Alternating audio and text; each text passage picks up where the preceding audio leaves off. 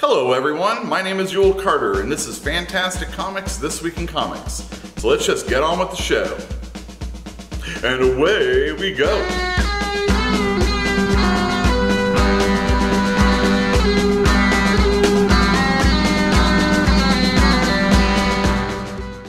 This week we're talking about DC's House of Horror, now number one, Flash number 33, and Shaolin Cowboy, Who Will Stop the Reign. DC's House of Horror is an anthology.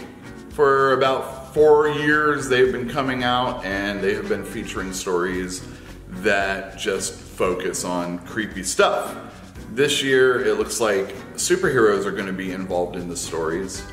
One of the main book, uh, stories I'm going to be interested in is one written by Keith Giffen and art by Rags Morales. There's going to be a lot of other people working on it, so I recommend picking it up, especially if you're into superheroes and horror. This looks like the one for you and me.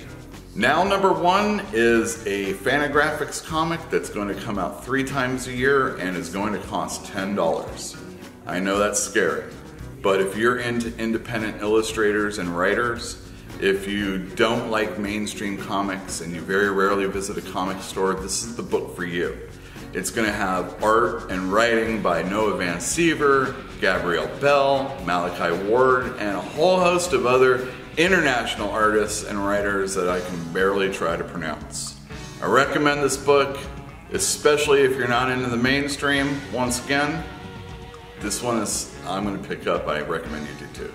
Flash number 33. I know I've recommended Flash in the past. It's still written by Joshua Williamson. This one has art by Howard Porter, but there's something special about it, and that special thing is that it's a metal tie-in. And if you aren't reading DC's Dark Knight Metal, I highly recommend this.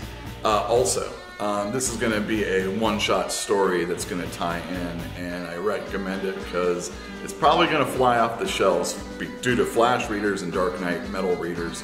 It's going to be gone. Uh, recommend it. I like Flash already. I like Dark Knight Metal quite a bit. This is one for you, especially if you read one or both. Shaolin Cowboy, Who Will Stop the Reign is a hardcover collection of the miniseries that came out earlier this year. It's written and drawn by Geof Darrow, who's famously known for having done Hard Boiled with Frank Miller. He also did the designs on The Matrix, and his art is fantastic. Sometimes the writing is a little sparse, but that is totally okay because the art makes up for it. It's always a 10. It's super violent. He chops lots of people up, and there's a lot of shooting and a lot of eating and all sorts of crazy stuff.